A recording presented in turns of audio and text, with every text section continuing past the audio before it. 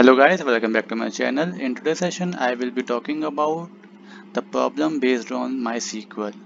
Right. So today i will be solving one problem which is given here. You can see here we need so we have a employee table and we have a department table as well as and here the department id is a primary key in the department table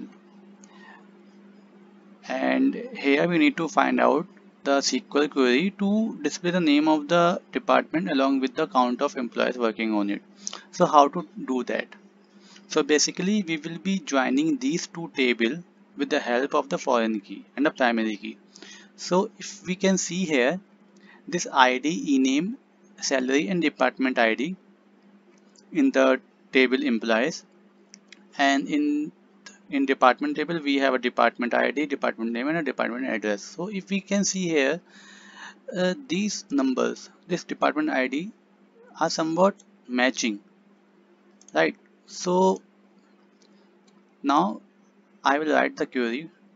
So i write select. We need what? We need the name of the department. So the department name is dep name. Dep name I'll use aliases alias. So let's take d dot. And then what he wants he wants the count of employees also. So I write the count function and then I write the mm, EID EID refer to the employees. From employees I make it E then inner join then I use department table here and I make a join on dip ID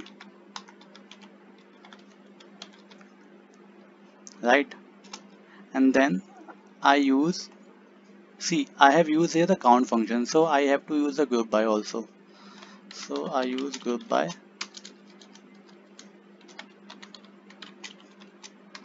sorry. And then d dot dep name. Let's run it. Yeah. Then I go to submit button.